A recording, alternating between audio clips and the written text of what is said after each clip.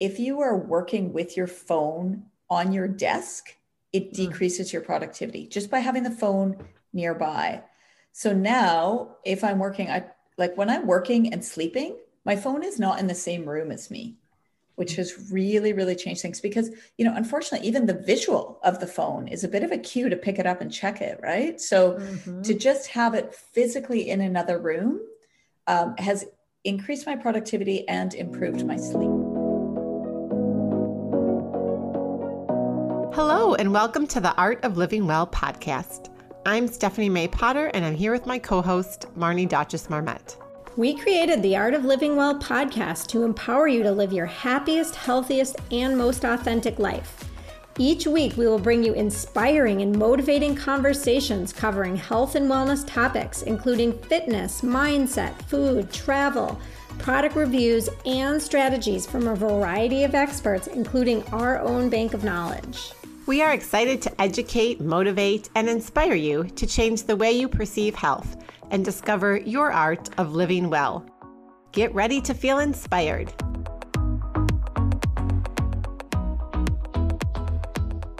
Hello, and welcome to episode 97 of the Art of Living Well podcast.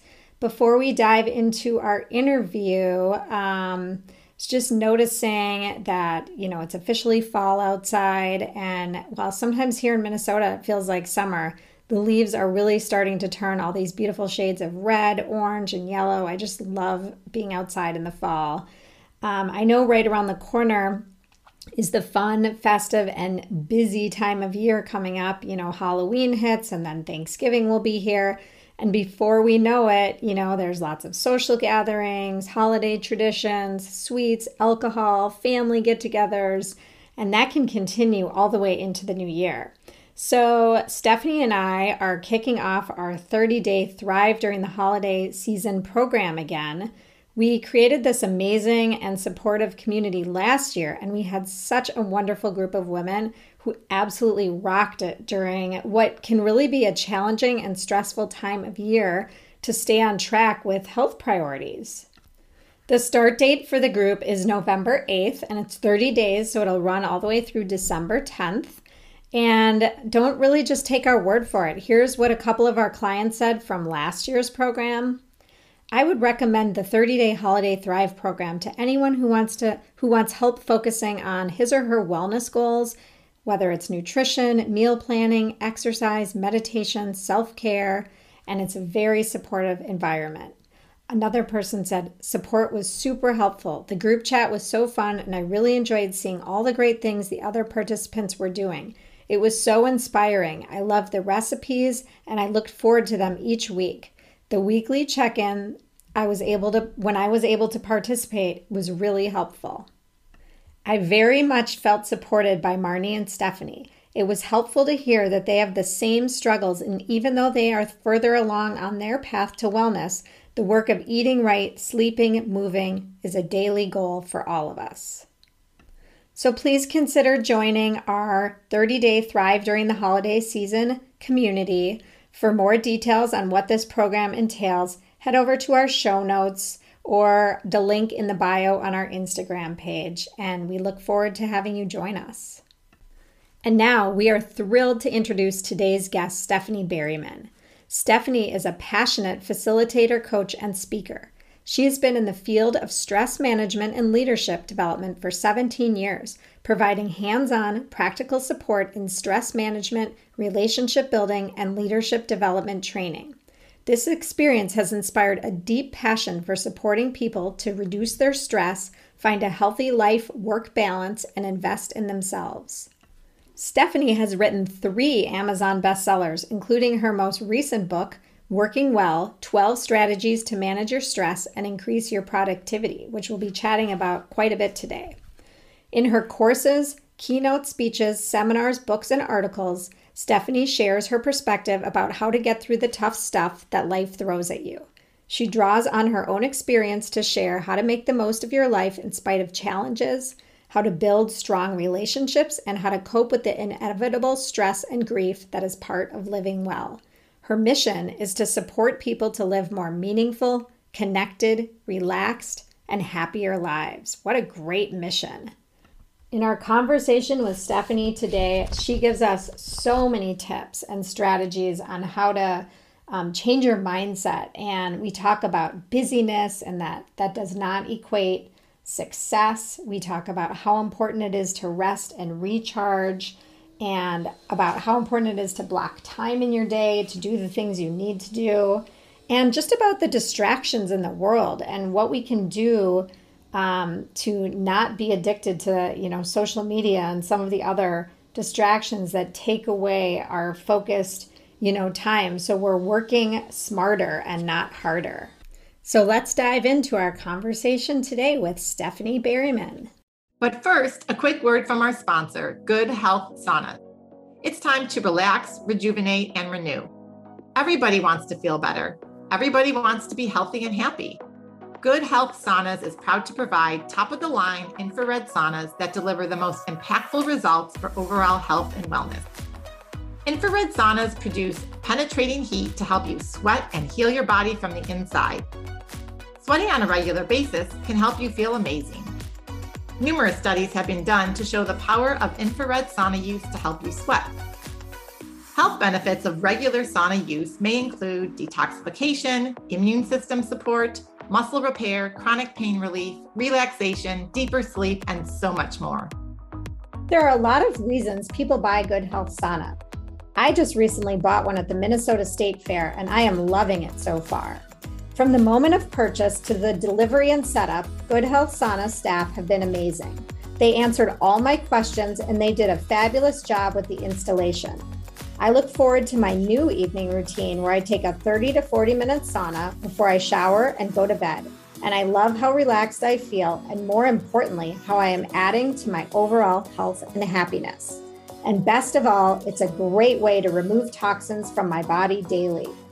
Good Health Sauna provides commercial grade infrared saunas for in home and commercial use backed up with the best warranty in the industry, lifetime guarantee, and unmatched customer service. They have three stores one at the Mall of America in Minnesota and two in Wisconsin, Appleton and Waukesha. For more information and to purchase online, go check out your special offer at www.goodhealthsaunas.com slash the art of living well. Hi, Stephanie. Marnie and I are so excited that we connected a few months ago, and we absolutely love the work that you're doing to help reduce stress and increase productivity in the workplace. And as a former and recovering CPA um, who wore billable hours and you know lack of sleep as a badge of honor, I can personally relate to the examples and insights that you share in your latest book. And I honestly wish I had these strategies back in my formative days. And I know that all the practical tips and strategies that you're going to share today will be of immense value to our listeners. And we love the title of your latest book, Working Well 12 Simple Strategies to Manage Stress and Increase Productivity, which is in such complete alignment with our podcast mission and values. Because let's face it, working well is really an integral part of finding your art of living well. So, we just can't wait to dive into all your research and insight and of course talk about your latest book. So welcome. Well thanks so much for having me. I'm thrilled to be talking to you. And you know you both do such amazing work too. And i'm excited to be listening to your podcast now. Thank you. Yeah. So stephanie everyone has a story and we would love for you to share your journey of how you became a prof- professional leadership consultant and coach who has impacted thousands of people around the world to deal with stress and increase their productivity. Sure. Yeah. Well, I think, you know, I came to it the way many people come to it because I really needed it. um, when I was in my late 20s, I was, you know, one of those late bloomers. So I went back to university very late. And I graduated from Teachers College and I had a $35,000 student loan and I was super stressed out and I got a job at a, working at a not for profit, and it was a fabulous job, but it was not for profit pay. I was not able to pay off student loans. I was really stressed out, and I was proving myself. It was my first big job. So I was working 12, 14 hour days.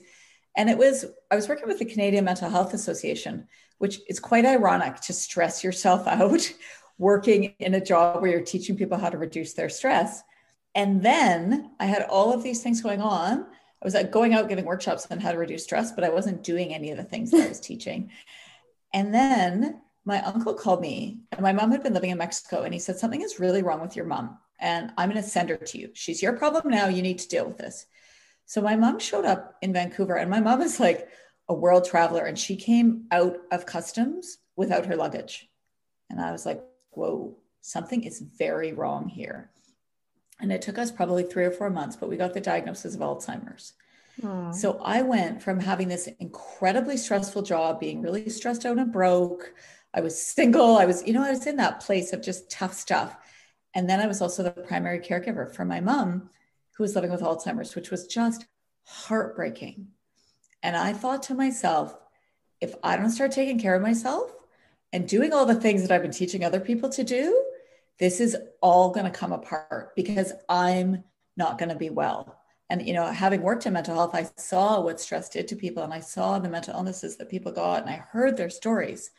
So I began to get very, very good at my own self care. And I stopped seeing it as selfish and I started seeing it as something that I had to do for my mom and something I had to do for the, I had 12 staff working for me. So I was like, I need to model this for them and I need to do this so that I'm a good manager for them and I just, it totally changed my life, right? I started to, I was like, I don't have time to exercise. And I was like, actually, I can ride my bike to work, right? Like I started to build things in. It's like, I don't have time to see my friends. It's like, actually, if I don't see my friends, I'm going to lose it.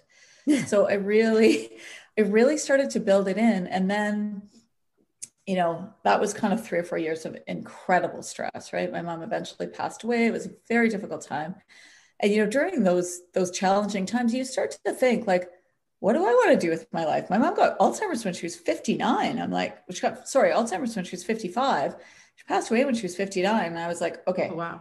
I really want to do what i want to do and what i'm passionate about. And that is helping other people live lives that are really you know in congruence with who they are and what they want. And helping people manage their own stress so that they're not in this situation and they get to live good lives no matter how long life is.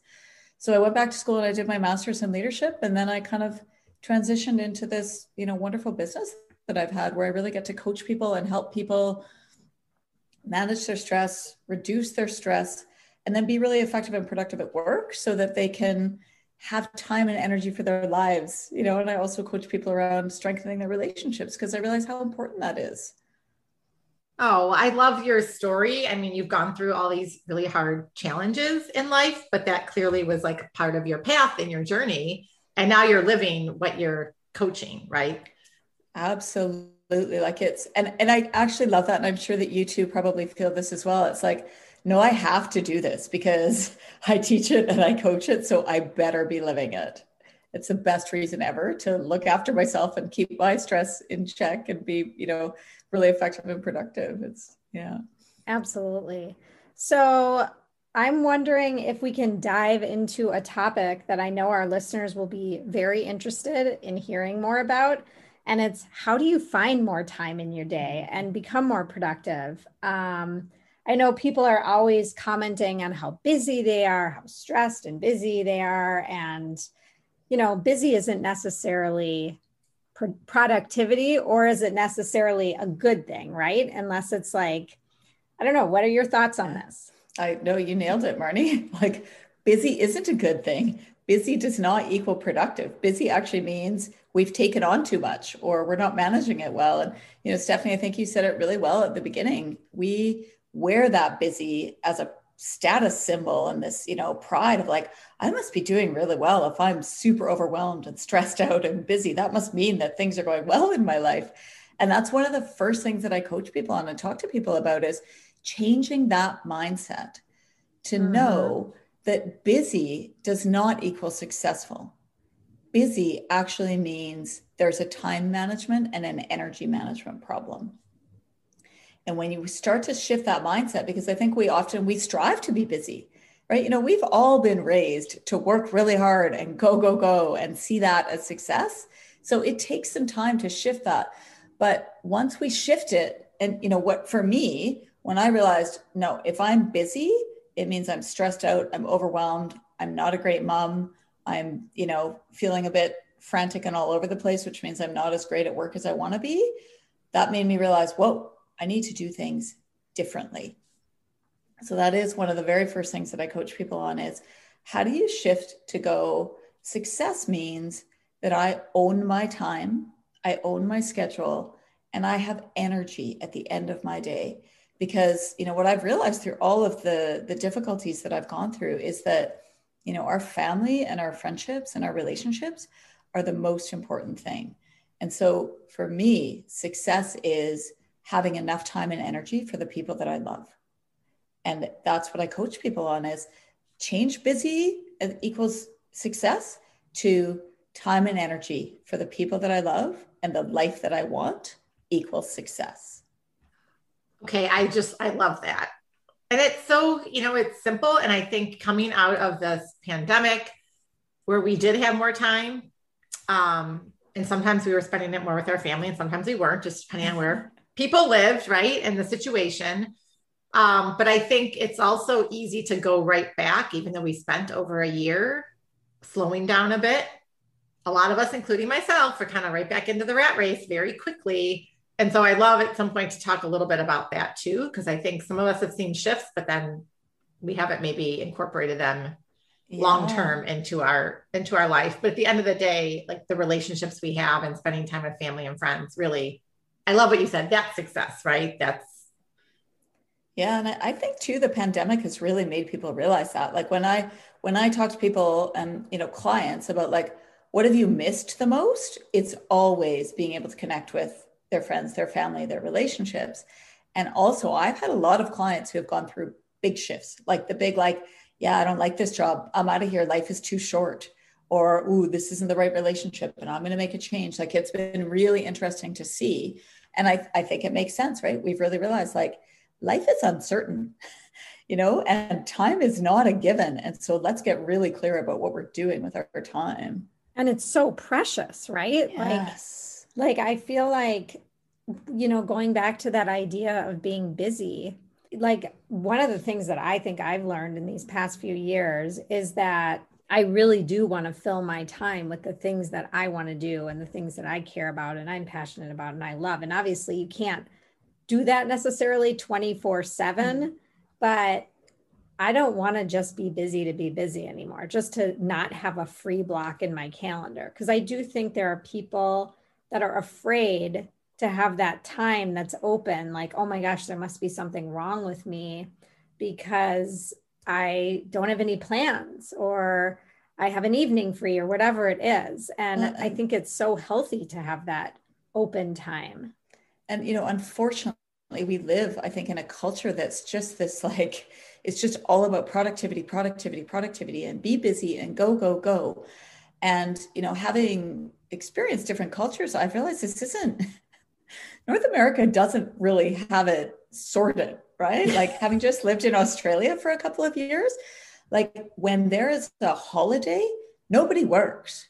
Like no one is going to call you on a holiday. If you've told someone that you've booked a week long vacation, nobody emails you, mm, nobody calls you. It's like, yes, that's the way it should be. And they've got that figured out. And that's, you know, honestly, that's also one of the other things I coach my clients to do is like when your day, when your workday is done at five o'clock, you are done and you are in rest and recharge mode. And if you spend that time checking your emails and dealing with work, you're not resting and recharging, which actually makes you less productive the, the next day, right? So I had so many clients who came to me because they were super burnt out. They're working 12, 14 hour days and they still weren't able to get ahead and get on top of their work. And the very first thing I did was say, the workday needs to stop at five because when you take four or five hours at night to rest and to recharge your brain. Like it's actually the brain science, right? Your brain is able to calm down. The brain has limited abilities to focus and concentrate, and they get depleted throughout the day. And instead of being really smart people and taking breaks and stopping work at five, and I was like this too, right? And I thought it was a badge of honor, like, I'm going to work till midnight every night. And that proves, you know, how effective I am and how committed I am. But then guess what? The next day you are not as productive. Hmm. And then it's this vicious cycle, right? Because you're working tired, which means your brain's less effective. So, you know, and I've had so many clients who struggled with this. And, you know, what I say is like, you need to set something up so that you have to stop work. right? So it's, you know, maybe you have to go meet a friend or you, t- you know, I had one client who's like, I've always wanted to take pottery. I'm going to take a pottery class that starts at six, right? So it's like figuring out if, if you feel like it's too hard to do, creating something that's going to force you to stop work and force you to recharge. Um, because when you recharge and you relax, you're so much more productive the next day. And when you get good sleep, you're so much more productive the next day. I had so many clients coming to me because they couldn't they couldn't sleep enough because they're like, no, no, I have to work till midnight and then I get up at six and I'm, you know, I can't get enough sleep. And it's like, well, we got to change that because sleep like is to your brain, like sleep is the magic thing that makes your brain work, right? And when your brain is working more effectively, you're way more productive with way less effort. Absolutely. I mean, I can only think the number of hours that I stayed awake to work. I was probably getting like like 20% of the work done that I should have been in, you know, all those hours. Yeah, I mean, the research says that your productivity falls off a cliff after working 40 hours a week. Like it just totally drops. So I have a question about that. Like I'm I'm thinking about my husband specifically. So like he let's say he's in meetings for a chunk of his workday and then he has you know it's the end of the day and he maybe will take a break to be with family whatever and then at night he'll go back to work like at you know from home or whatever yeah because he is so behind on answering emails and deadlines and whatever so how do you how does one become more productive who's like what do you suggest for people that are so constantly in a backlog i guess Yes, and you know, part of part of his challenge, or part of everyone's challenge, is meetings, meetings, meetings, because mm-hmm. you can't mm-hmm. get your work done when you're in meetings. Right. And um, so, one of the things that I tell people to do is to block the first hour of their day, because if you block that first hour of your day, you refuse to take meetings. That first hour is your most productive time. Your brain is fresh You've got still good ability to focus and to concentrate, and you can get so much more done in the first hour of your day than if you try and do that between 9 and 11 at night or whatever, right? So it's those that's the first thing I do. And the other thing that I do and and clients are like I can't say no to meetings. And I'm like actually you can. You just you need to ask the like when someone invites you to a meeting, you need to ask them what the agenda is and what your specific role in that meeting is to clarify whether you need to be there or not. And I think, especially with having to work from home and having to work online, we've amped up the number of meetings. And we've, you know, often I hear clients, they're like, I've invited everyone because I just want to make sure that they're all included and they're all, but it's like, you know, to really ask the question do you need me at this meeting? Am I a decision maker? What's my role in this meeting? Or is this something that you can just send me a summary of? Right? Because that frees up a bit of time during the day. And it's also like often people invite you to a meeting because they want to include you, but they don't necessarily need you there. So they, for them, it's freeing as well, right? When you ask those questions. And the other thing that I really say to clients is to take breaks every 90 minutes. And this is based on research by Tony Schwartz, who wrote a fabulous book called The Way We're Working Isn't Working. And what they found is that our energy cycles for a, you know, we can go for about 90 minutes and then we need a break to recharge. And so if you even just take a quick 10 minute break, and you know, I used this while I was writing my book. Again, it's such good incentive. You have to do the stuff you're telling everyone to do. And I wrote that book. That was I wrote that book in 6 months while I was wow. working full time and parenting full time. And it was because I booked the first hour of my day when my brain was fresh to do the writing.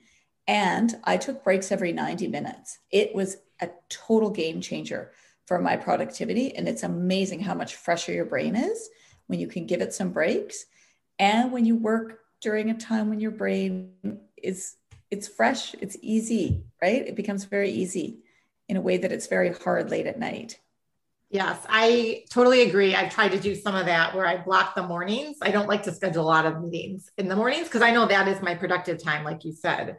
It's funny, I was actually, I had a session with my one on one client yesterday, and she was talking the same thing. Like she's booked all day long in meetings and can't get any work done. And I actually referred to you because I was prepping for this podcast interview and what her company, like starting next week, actually decided they are only allowing meetings, be, internal meetings between 11 and 4. So they're trying, but you know, it's hard because this is easy to tell someone to do this, but like people that are in client service, right, that are accepting meetings from mm-hmm. clients, that's how they're making their money. Like, Absolutely. how do you just say no? I can't.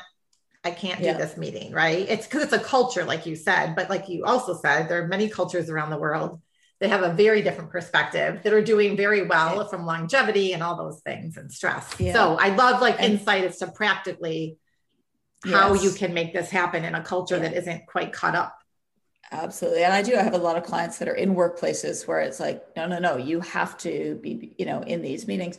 And so what I say to them is, you know, that nine to midnight you're working every night, replace that with a six to 7 a.m., right? Or like get into work an hour earlier than your workday starts and then your meetings start. If you can't block that first hour of your workday, don't work at night. It's just, it's so counterproductive because your brain is tired so it's less effective. And also, you need that recharge time. You really, really need that recharge time.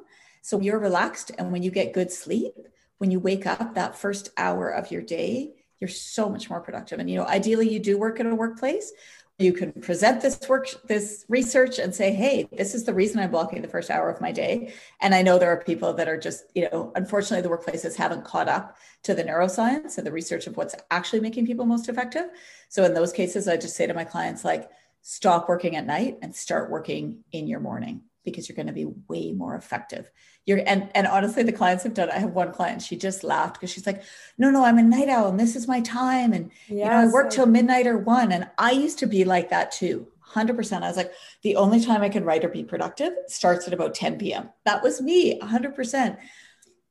And it does take probably a week or two to switch over, but it like she just she was laughing at herself and at how how resistant she was to me because she was like, I'm easily getting twice as much done in that hour in the morning as I was during three or four hours at night. It's just, it's all about working with your brain, not against your brain. Well, and I hear a lot from my clients too, especially they uh, like I know a number of people I've worked with that, that they literally say that I'm a night owl. I can't function in the morning or my brain doesn't work well in the morning. So I love how you're saying just try it because I mean, me personally, like I feel like my brain doesn't function after 9 30 p.m. I like can see the dive it takes in yeah. terms of my thought process. Yeah. So and, you know, I'm, everybody is obviously different, but I do have to believe that after, you know, a solid night's sleep, you wake up, you're refreshed, you're ready to go. And I'm absolutely the same. And I am a real advocate for um like working in the way that works for you, right? So mm-hmm. I can't get up at six in the morning and write. I tried that, right? It's like everybody says, "Oh, do that, do that," and I would get up and I would write, and I would write like ten pages, and they were all absolute crap. Like I just, it's not my time, right? Yes. So, but I can work from seven thirty to eight thirty, right? Like that works. So it's like mm-hmm. figuring out when is your best energy time and and also like i've noticed once i started doing this i really noticed it's like i can feel it's exactly what you said marnie i can feel my brain getting tired. And when i feel my brain getting tired i now have learned to not push through but to stop and take a 10 15 minute break go for a walk drink a glass of water have an apple like just do these little things and then come back. And i think in our culture we have been trained to push through power through go go go but when we back off and when we listen and we go, oh, I feel my brain getting tired. Like mm-hmm. you can feel it when you when you notice. It's like, oh yeah, it's taking me longer to think about this. It's taking me longer to type this out. I can't figure out how to word this email. This is the clue. It's time yes. to go and take a break. Well, and speaking of that, I wanted to clarify one thing you said earlier. You mentioned um, taking 90 you know after 90 minutes of work taking a break what is your yeah. suggested amount of time 10 minutes if you can okay. pull off 10, 10 to break 10 to 15 minutes that's gold if you can't just stand up walk around your room and do three stretches like mm-hmm. just something because it's the brain needs to disconnect and 10 minutes is enough time that it actually recharges your powers of focus, focus and concentration And but here's the thing about breaks and I, I i had to learn this myself and i've had to train my clients to do this too. A true break means you're not on a screen. Yeah. So so many people are like oh great i'm going to take a break and go on social media. That is not right. a break for your brain. So i you know i love going for walks. That's my break because it's also good for your mm-hmm. body right to get your mm-hmm. body moving. So if you can just you know, even if it's miserable weather, I, obviously right now it's beautiful out and it's great to go for a quick walk. But even in the miserable weather, I would go out and just walk and move my body because it's also, um, I also would find, you know, and the research backs this up, especially when I was writing, if I was taking it, you know, if I was working on something, it's really hard and I couldn't quite get it, I go for a break and I go for my walk and I come back and I'd be like, even on the walk, I'd be like, aha, I know exactly what to do now. Mm-hmm. I know how to deal mm-hmm. with this, right? And the research has found that 60% of the time we work out a problem through our conscious mind, right? We go through the really tough process. Okay, I'm gonna do it this way, I'm gonna do it that way. 40% of the time, our subconscious can take over and sort it out. But that means we have to give ourselves breaks to mm-hmm. let the mm-hmm. subconscious take over, right? If we're constantly in the working hard in the conscious mind, we never we never get that shortcut where the subconscious just works it out for us. Yes, and yeah. I think when you are in those periods where you're trying to figure out a problem, like where you're working, disconnecting without the screen, or even if you're going on a walk, don't bring your phone with you so you're not distracted by texts and emails or even putting on a podcast, which of course we love to do too. Um, because you're just sitting with your thoughts and then it allows that your mind time to like maybe some of the chatter clears and then you can think more clearly and come up with that new creative idea or whatever it is that you're struggling with. Absolutely. And I, I think it's, you know, you've, you've touched on something so key, right? Which is that we never actually just let our brains be quiet and relax, right? Because we're always, there's a text coming in or there's something to look at on social media or there's a podcast. There's always something to do. And because we live in a culture that really values doing, we don't just relax and, you know, do nothing and think about nothing and just go for a walk and look at the trees or you know breathe in the fresh air. And that's what's really really good for our brains is that do nothing in that quiet space. And that's what actually helps us be more productive ironically. Well and it's funny because i always say i do my best thinking in the shower and it's yeah. because no one can get to me. Like yes. there's no one that can reach me. Because even on a walk i mean i do a wonderful thinking on walks too but there's neighbors I run into, or my phone may ring if I, or my watch, or you know, there there yeah. are some distractions, and I I love the time of the walks, but the shower is like me yeah. all alone. Nobody can get to me. So yeah, and, and that's what we need to create more of in our lives, though, is that yes. nobody can get to me time. Yes. Yes. Yeah. Yes. Just disconnection from the world. So speaking of distractions, you know, what what have you found to be the biggest distractions for adults? Well, you know, probably like everybody else, the phone is just like mm-hmm. the best distraction in the world. Yeah. and and you know what's what was really interesting for me was when I was doing the research for working well, I came across this research about how social media is designed to addict us.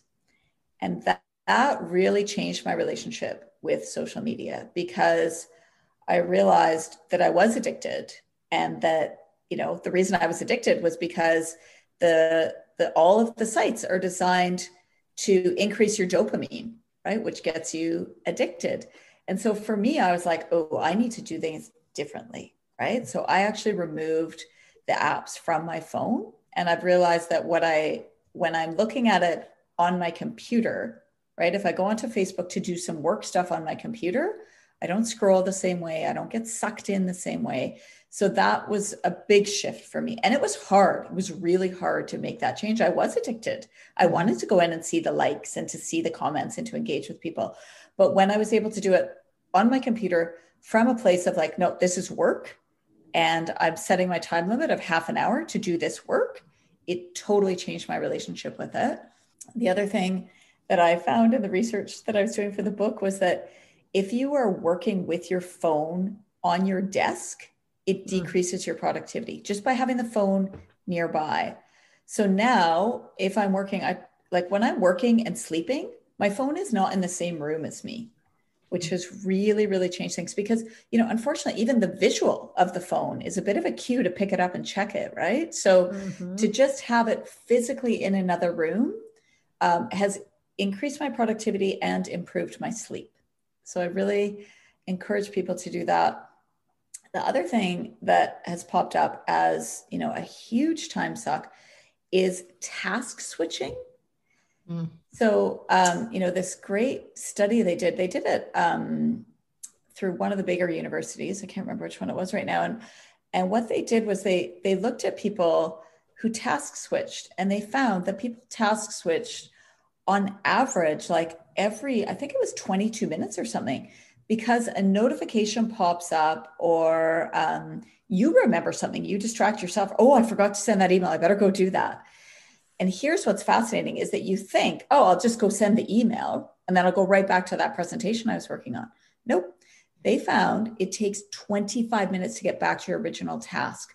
So task switching actually sucks up to two hours every single day because you're either getting distracted by something external, right? A notification pops up and you go deal with that, or you have your own internal distraction where you're like, oh, I forgot to do that. And then off you go. And the other thing they found, which I certainly could relate to, is they they did, you know, that NASA stress scale.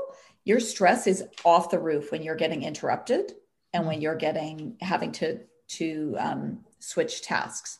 And I definitely find this, you know, if I'm like trying to get work done and my kids are like, you know, yelling at me or asking me things, or, you know, my husband's like, I need you to do this right now. It's like, ah, I'm so stressed. Whereas if I'm spending an hour working and my door is closed and nobody's talking to me, I'm not stressed at all. It's fabulous. I love it. So I've really, really, you know, with my clients, I say like, you, you know, people in offices are so keen on open door time. I'm like, you need to schedule yourself some closed door time. And that closed door time needs to include turning off your notifications, putting your phone in another room, and having one hour of really focused time because you will get three times as much done and you'll be way less stressed out. So really the the the interruptions I think is such a huge time suck. Yes, I completely agree. And you just feel you're happier when you get that work done and you're less stressed like you said. And it's only a, one hour. We're not saying like lock yourself in your office for eight hours a day or anything like that. Um, and it just has such a ripple effect on how you interact and engage with your work colleagues or you know the people on your team or your family all those relationships like you alluded to earlier. So absolutely. And the other thing that's that's fascinating about the brain science and the the research is that dopamine is the chemical that motivates us right and it's a brain chemical that we uh, produce naturally and one of the biggest things that produces dopamine is getting stuff done so when we're constantly being interrupted yeah. we don't get stuff done and then we don't have more dopamine so, you know, I have so many clients who are like, oh, I'm not feeling very motivated and I just need to p- pressure myself and get more stuff done. And I'm like, no, actually, the exact opposite is what you need to do. So if you're having trouble feeling motivated or having trouble getting stuff done, there's really easy like brain hacks that you can do, right? The first is usually if we don't want to do something, we're not feeling motivated, it's because we're we're focusing on the pain of doing it and you know the difficulty of doing it and the brain is hardwired to avoid pain, but the brain is also hardwired to, to seek potential reward. And what they found is that our dopamine spikes when we're thinking about reward. So if you've got something that you're reluctant to do, think about and associate the potential reward of getting it done, right? So you've got this big presentation, it's hanging over you, you don't want to do it. It's like, well, once I get it done, I'm going to feel so good. I'm going to feel free. I'm going to have delivered what I'm meant to deliver. You focus on that, your dopamine naturally spikes. So you're naturally more motivated. And then when you get it done, you get another huge rush of dopamine, which means you're more motivated to get the next thing done. It's so interesting. Also, you mentioned, I think you called it task switching. Mm-hmm.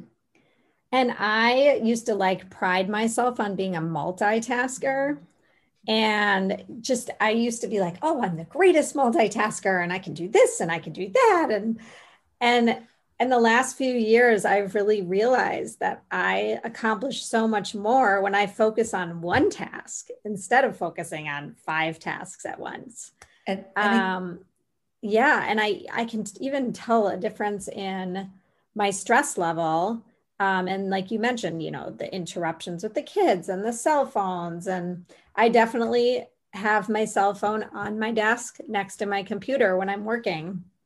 And a text will pop up and someone will ask me a question or whatever. And it definitely will pull me out of whatever I'm doing and into that. And then that may send me off to go do something else. And then, you know, it's like this spiral. And maybe I won't get back to that task that I was initially setting out to do for 30 minutes. So I, I'm going to try what you're saying, try and, you know, put my phone in a drawer or somewhere where I can't see it you know when and, i'm doing you, that really focused work yeah and if you honestly if you do it because it's hard right and i've i have struggled with like what do you mean i'm not going to have my phone with me or what you know and same thing my clients have really been like i need it there. And i'm like you don't. For one hour you absolutely don't. Yeah. and you'll you'll notice how much more productive you are. And but here's the thing this happens to all of us. When it's not there we're like maybe i should just go out and check it. Like you have to actually retrain your brain right? Yes. and, you know, yeah. on the note too of what you were saying about multitasking again we live in a culture that values multitasking and thinks that this is great that you can multitask and, and when I was, I, I read David Rock has this fabulous book called Your Brain at Work. So it's all about the neuroscience. It's a bit of a, it, it was a hard read. I'm not saying that was an easy read, but um, one of the things that they found in there is, uh, is Harold Pashler did this study, and he found that when we multitask, it takes our intelligence level from that of a Harvard MBA to that of an eight year old. Oh, that that's really sad. yes. It really shifted my approach to multitasking, wow. right? I was like, okay, time to do things a little bit differently here. And again, like I think in workplaces too, there's all this pressure to like work long hours, don't take breaks, multitask because we think that's the way to be most productive and we think that that's showing the most commitment to work.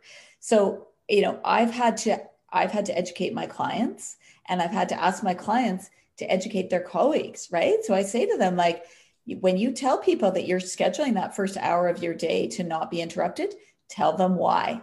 When you're closing your door, tell them why. Explain the research, explain how it makes you more productive. And honestly, within two weeks, people are so much more productive that I've had their managers call me and say, Can you please come and teach all of my staff this? Because I don't know what you're doing with this person, but they're they've doubled their productivity, and I'd like you to do that with the rest of us. So you see the results very quickly, but you have to. It takes some willpower and some self control to change the habit, right, and to do things differently. And that's why I often teach people systems because when you just create a new system, you just follow the system, and then you don't even have to rely on the willpower. Because what research has found is when we're trying to make change, most of us rely on willpower and it's really, really hard and it doesn't work. Mm-hmm. So when we have a system to follow, we just follow the system. And then we don't even have to rely on willpower. We just use the system. That makes a lot of sense. And I'm wondering if you can apply these systems that I think we're probably going to dive into a little more to someone who's at home as well, because there may be someone who's not, you know, in a workplace environment, but they're actually even, you know, maybe a stay at home mom, but they still have a huge list of tasks that they need to do on a daily basis. A hundred percent. And I feel like, I feel like actually when I'm, you know, when I am at home or and I'm not having my work day, I need my systems even more because there's less structure, right? And it's so easy to just be like, oh, like I know I had to do the laundry and I know I had to pick a kid up at some point, but I also, there was other stuff I had to do, but what was that? So yeah, I yeah. feel like systems are, uh, I am, I'm a bit of a free spirit and I'm very resistant to systems.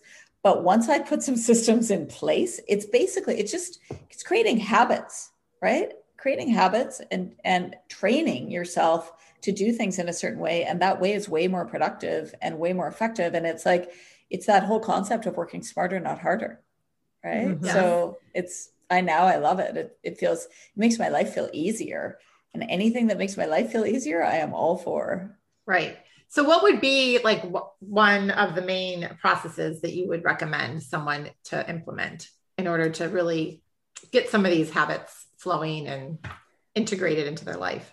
Yeah. So if you can schedule that first hour of your day, right, and have it be the first productive hour of your day, right? We've talked about this, right? When you know your brain is working and functioning. So uh, for some people, that is like 5:30 to 6:30. That's their optimal time. So um, here, here's the system that I teach a lot of my clients. Right? Is you start your day with 15 minutes of meditation. So it's not I, you don't get straight into it. You give your brain that quiet time, and there's lots of really good uh, meditation apps. I really love Insight Timer because they have tons of free uh, meditations and there's lots of different options. I also really love Calm. Those are my two that I kind of go to. Um, I've also got a meditation that I that I do for people as well. Um, but if you can start your day in a calm, happy, positive mind state, you are going to be naturally 31% more productive. The research has proven this. So, what I have clients do is I'm like, you start your day meditating. You don't start your day checking your phone.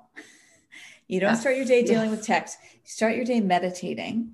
So 15 minutes and then try to, you know, just do five or 10 minutes of movement, right? So it's for me, I do some stretches. Some of my clients like to go for walks. So if I've got the kids, I, you know, sometimes we'll do a little dance party, right? Just something that gets the body moving. So that's the the way you begin the day really, which is giving your mind what it needs and giving your body what it needs. Mm-hmm. And then that first hour of your time, you identify before you do that time what your priorities are. So I ask my clients to identify their top three priorities every day. So at the beginning of that hour, you're identifying your top three priorities, and that's what you're working on. Not like, oh, what am I going to do today? It's like, no, you know exactly what those top three priorities are. And that's what the hour is for. Because that's your most productive time. That's when your brain is your most focused. So just spend that time on your priorities. And then the rest of the day, you know, frankly, meetings are other people's priorities, usually, right? Sometimes it's your meeting, it's your priority, but often you're responding to other people's priorities in emails or in meetings. So that first hour, so that's like, if you just do that, that's a system, right? 15 minutes of meditation. Well, honestly, some people are going to have to start with five or 10 because meditation can be tricky. But if you start with five or 10, you get a little win. You do your meditation, you do your stretching, you get wins because you've done it, right? So you feel good, you've got the dopamine, then you know what your three priorities are. You start your hour getting stuff done, and then you've got the dopamine, you're highly motivated and you're very energized. So that's like a quick, easy system to start your day with. And again, it'll take you know, they say it takes three weeks to build habits. So don't, you know, don't feel like, oh, I did it two days, and then I didn't do it. Now I, I'm giving up, forget it. Yeah. It's like, actually just do it. It, it will work. And if you just keep doing it, it will work and you'll notice the impacts and the results very quickly. And then the other thing, it's not really a system, but it's like I actually have my clients schedule their breaks into their calendars mm-hmm. so that nobody can block time there.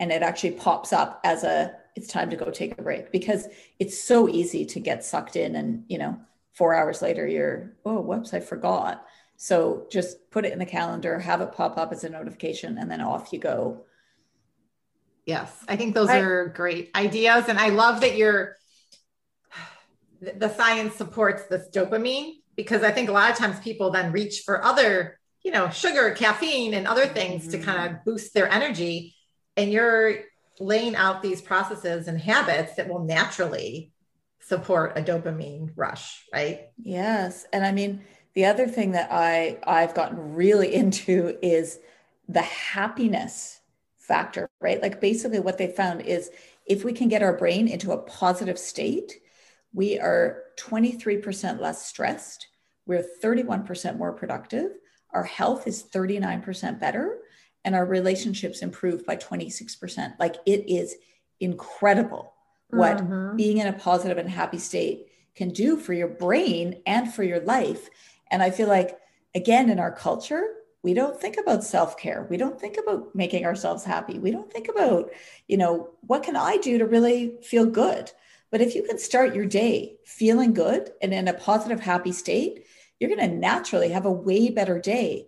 And I have so many clients who are like, oh, well, I, like when I wake up, I roll over and pick up the phone and check out the news and my emails, and I'm already stressed, mm-hmm. which is why I'm like, uh uh-uh, uh replace that behavior, right? They've also found that a habit is much easier to replace than it is to break. So now yeah. pick up the phone, click on Insight Timer, and do a meditation. And even if you're just lying in your bed, do a meditation for 15 minutes that puts you in a positive, happy state. That's a way better way to start your day. And you're naturally going to be more productive and healthier and happier and have better relationships. Like, who doesn't want that?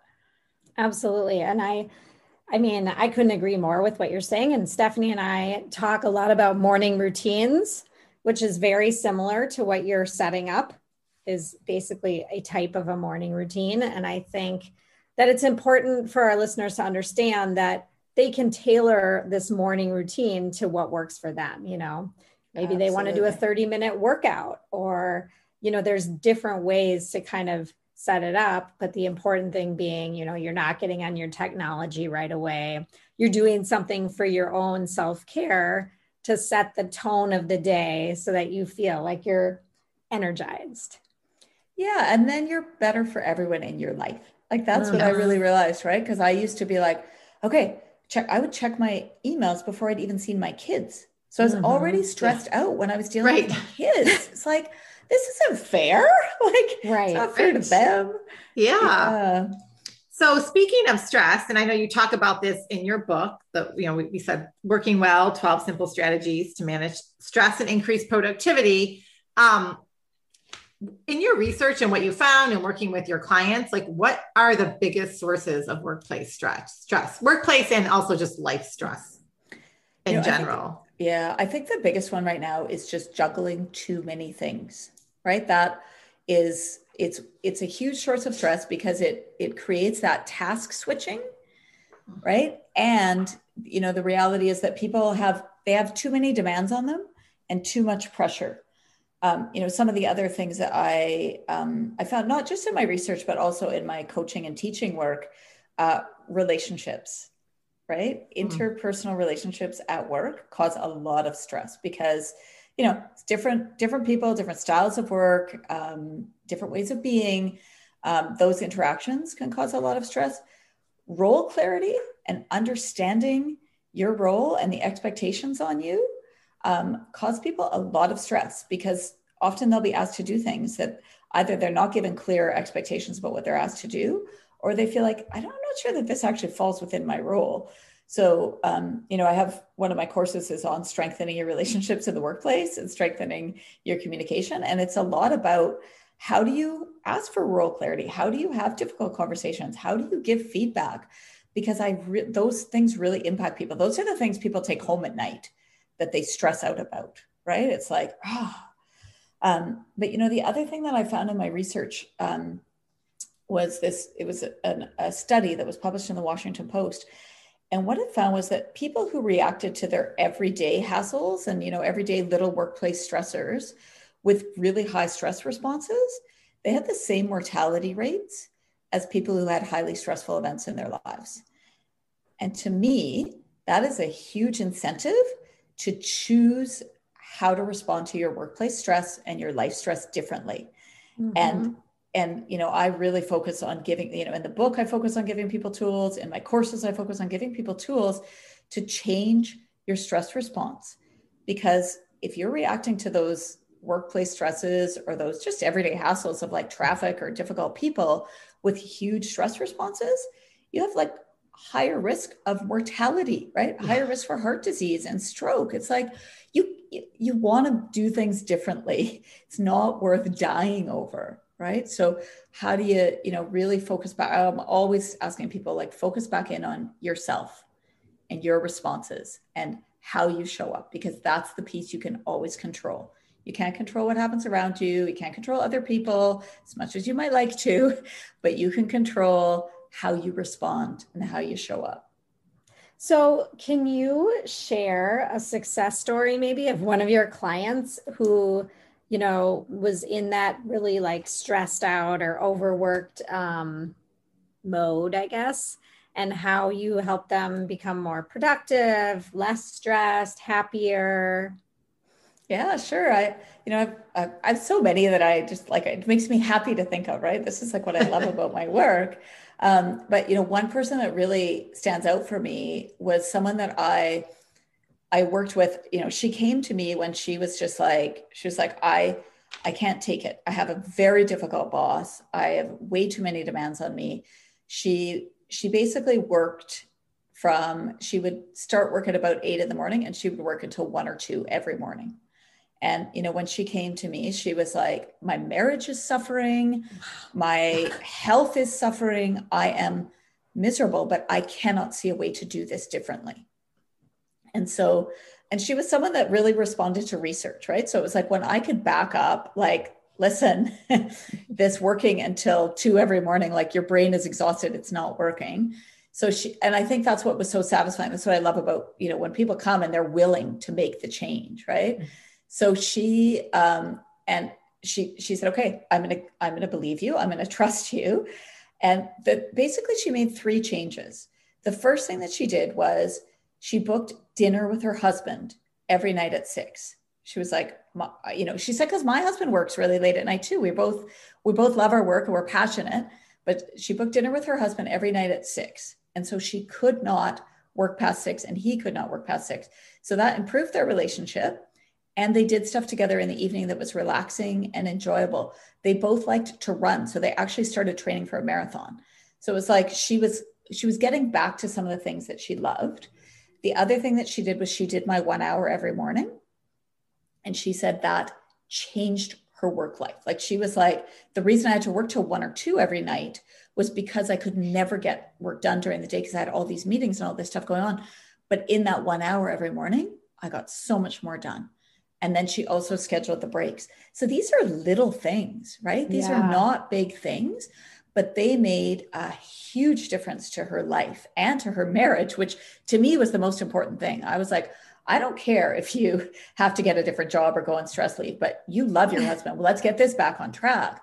And the other thing that I actually did, I worked with her a fair bit on, was setting boundaries with her very difficult and demanding boss and giving feedback and standing up for herself because those things are really important and they're really hard to mm-hmm. do but they're really important. And so she was able within probably about a month she was able to have very different kinds of conversation with her manager to say no actually that's unrealistic. I'm not able to take that on right now. Or if you want me to take that on i need to do something i need to give you something back. So i think that that's another key piece that's more of a coaching piece, right? Is like giving people the tools to have those conversations. And, you know, I go through it a fair bit in the book about giving feedback and setting boundaries. Um, and I think that's a really, really important element of, of working well. Yes. I think I love all these suggestions because they're, you know what, they're free, right? Stephanie, you're not telling people to go like outsource all the things that are, you know, keeping them stressed about their house or whatever. It's like, no, take control of your schedule and your life, which will then have a ripple effect on your happiness and how you interact and just everything, right? What it's like keeping yourself that the self care is not selfish because it really is then bringing your best self forward for everyone else that you interact with, um, which is awesome. And I know we talked a little bit about your book, um, but maybe you want to spend just a couple minutes, let's just sharing how it's structured and what drove you to write it. And you wrote it very quickly, you said, because you had all these processes in place and um, productivity tips. But I love how it's laid out, each of these chapters, and just that there's lots of thought provoking questions at the end of each chapter to get you thinking, and then tips and strategies that you can implement. So if you just want to share a little bit about that. Thanks. Sure. Yeah. I mean, I, I mainly wrote it because I, I can't coach everyone, right? And not everyone right. can afford coaching. And I just like I was seeing the impacts that I was having in the coaching and the teaching. And I was having so many people say, like, is there anything else? So I thought I'd love to be able to really kind of walk people through everything that I teach and my my process of it around coaching. So yeah, it is each chapter is, you know, really a, an area of focus, right? So one is, you know, like one is on taking action to reduce your stress and you know taking personal responsibility or you know one is on like having difficult conversations and all the tools that you need for that. But as you say i do really want people to have that kind of coaching experience. So it's like that's why i have all those questions. So basically, I use a lot of stories because I think that's how we learn and that's how it's most interesting for us, right? So I share a lot of stories from my coaching clients and from uh, you know some of my teaching to kind of illustrate the points but then i give people quite specific strategies and even you know like in my how to give feedback i teach that feedback model right? So that people can use it. And then at the end i really ask people like some questions to help them take action because what what research has found too is that one of the biggest reasons that we take action is we've had an insight that makes us want to take action or makes us want to make a change. So that's why i ask those questions is to help people generate some of the insights that will help them take action and then I obviously lay out very specific action steps that people can take to be able to see their results. And um, yeah, it's a it's a fun book. I think like it's it's it's kind of this fun combination of like my life and my struggles, and then also you know people that I've helped and the stories, and then also like actions. I think it's super fun. You know, I've read a lot of these similar types books that haven't really resonated with me always, but like you said, just the way that it's laid out and the stories. I'm a big um, I'm a big fan of personal stories as well because I think it's like, oh, that that person has something similar to what I'm dealing with right now, and look how they were able to solve it. So, I think it's a great book. Highly recommend that if this topic piques your interest, or if you're at all stressed, or if you want more hours in your day, which I think most of us do, to go out and buy Stephanie's latest book. Um, and I know Stephanie, you've already peppered in so many different like practical tips and strategies throughout this conversation. But, you know, if there's someone out there that's feeling like, oh my gosh, so overwhelmed um, with stress and productivity, where should someone start? Like, what's just like one or two things they could do, maybe even today or tomorrow? Yeah, well, I think, I mean, start with taking breaks. So start with noticing that your brain is tired. That's the first piece. Most of us, we're just go, go, go. We don't even notice.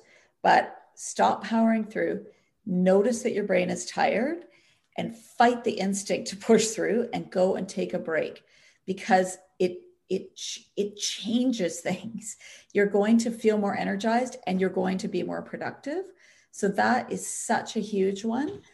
Um, the other thing that I teach my clients to do is box breathing which is it's very very simple but it's just you know basically you breathe in for 4 seconds you hold your breath for four seconds, you breathe out for four seconds, you hold your breath for four seconds. Even if you just do that for a couple of minutes, it really decreases the stress response, right? Because you're getting deep oxygen to your brain, it's settling the entire nervous system down. So it's kind of it's a quick, easy thing to do. But I mean, honestly, Stephanie, I feel like you know when people are super stressed out and overwhelmed, they need to do a bit of a reset. They need to stop like that's the first piece. It's just, and when you're stressed and overwhelmed, you're going, going, going. But what I usually say to my clients is like, we need to spend the first hour looking at the sources of your stress and really digging deep down.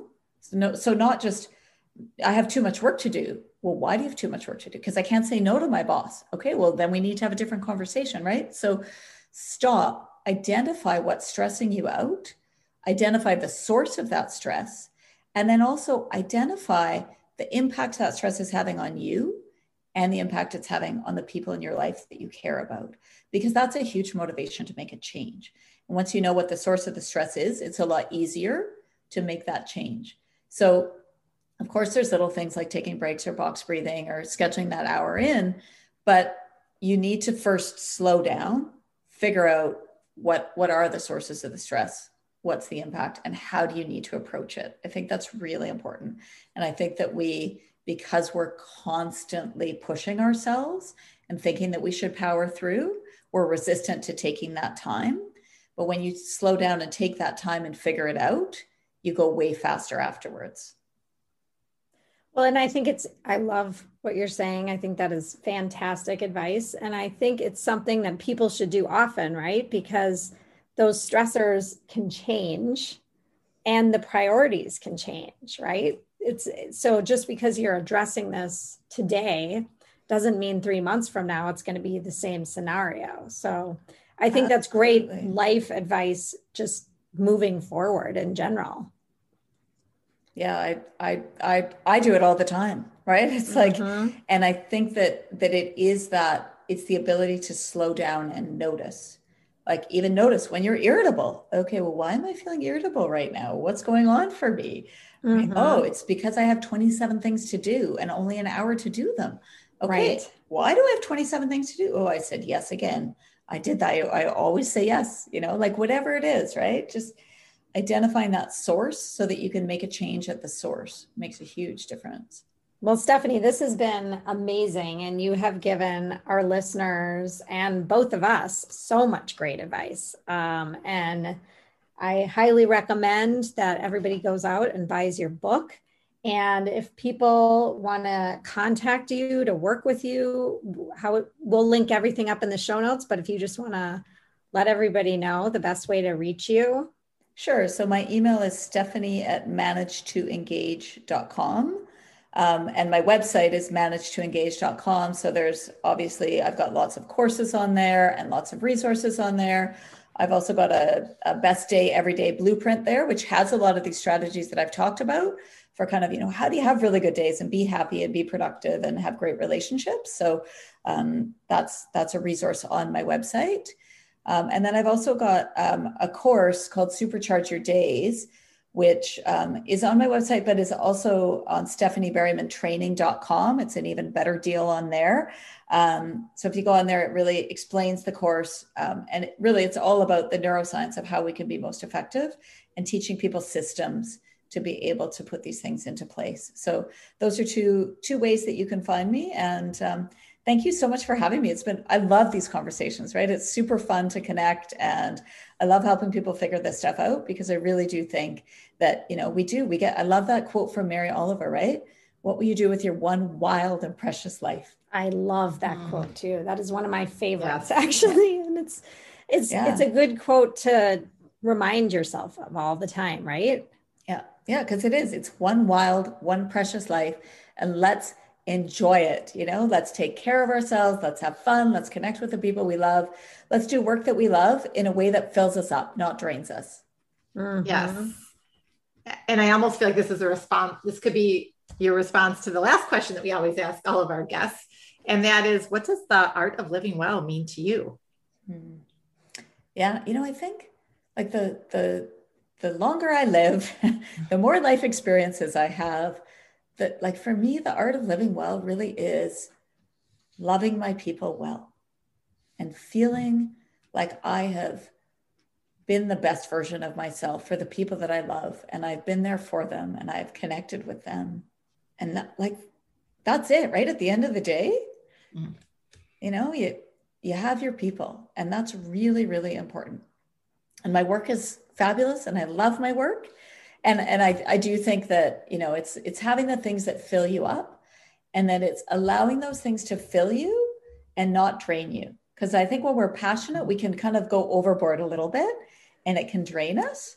So for me that art of living well is it's taking everything to the point where it fills us right? Our relationships our people our work and not letting it get to the point where it drains us. So finding that that place of like a balance. I'm filled. I'm filled, and this is lovely. And now I'm going to take a break and oh. fill more. I love that, and I I love how you said it: to fill and not drain. Yes. Yeah, and it's. Such... I think we live in a culture that just asks us to drain, mm-hmm. and we mm-hmm. need to we need to push back and say, "I'm going to fill." Because that's the best thing I can do for myself and for everyone in my life. Yes. Well, thank you for all your insight and inspiration. Um, and this was really motivating. So I know a lot of people are going to take so much away from this conversation and start to implement many of these tips and strategies that you shared today into their life. I know I will and Marnie will as well. So well, wonderful. I loved it. Wonderful having you. Talking to you guys. And I'm going to go yeah. take my walk now. So it's perfect timing, right? exactly. yeah. Yes. Without the phone. That's great. Well, well thank you. I so decided much. today, sorry, I was walking I had my phone in my hand and it kept dropping. And I was like, that was a sign that I should not have the phone with me because it's, you know, I don't want to break my phone, right? So I am going to try to do that too. Oh, that's great. So well, have a wonderful you. day. Yeah, you too. Enjoy the walk and enjoy the phone free time. And uh, yeah, it's been fabulous chatting with both of you. Thanks for all the amazing work that you do in the world, helping everyone live well. Thank you. Thank you so much. Thank you so much for listening to the Art of Living Well podcast. We are so grateful that you joined us today. If you enjoyed this episode, please share it with a friend or anyone else you think may benefit from this information. We'd love for you to subscribe to our podcast, leave us a review, and tag the Art of Living Well podcast on social media. If you want more inspiration in between episodes, you can find us on social media at the Art of Living underscore well on Instagram and Facebook where we will share snippets from our daily lives and our journey to living well.